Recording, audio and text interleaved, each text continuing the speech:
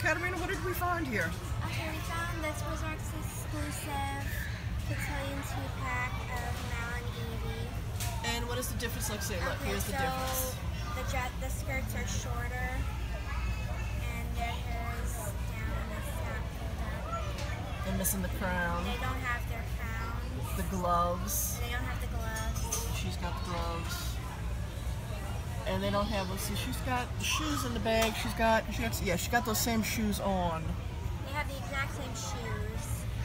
But they don't have the gloves painted on or the purse. No crown. It's, it looks like the same outfit, but she's got a shorter skirt. And then there's the Evie. And her hair is pulled up, and she Yeah. has a little accessory. Yeah, so she doesn't, do the same thing. She doesn't have the crown, the gloves, she, purse. No, wait. Oh, no, those are the same shoes. Those are the same shoes. And she has the same collar. Yeah. And that is Toys R Us, Toys R Us exclusive.